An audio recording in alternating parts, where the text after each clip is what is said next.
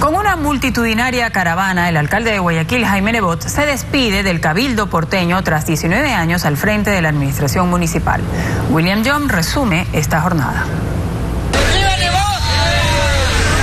El punto de partida fue la avenida Barcelona, junto al estadio de este club del astillero, del que también es presidente vitalicio. Allí inició la despedida a menos de una semana de dejar el sillón de Olmedo, que ocupó por 19 años, y que este 14 de mayo pasará a ser de su coidearia, Cintia Viteri.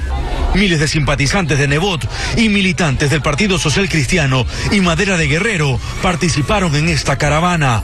Llegaron en camionetas, en chivas, a pie o como podían. Aunque era una despedida, creen que será momentánea asistieron varios de los candidatos que ganaron en las pasadas elecciones seccionales. Pasadas las 4 de la tarde, llegó el alcalde.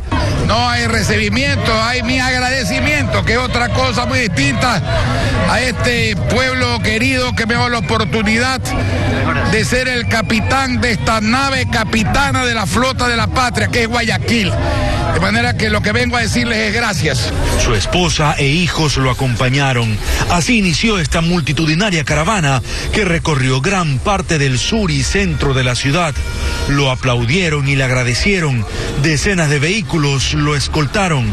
Desde balcones y veredas lo saludaron en medio del caos vehicular que se formó en varios tramos de esta despedida motorizada.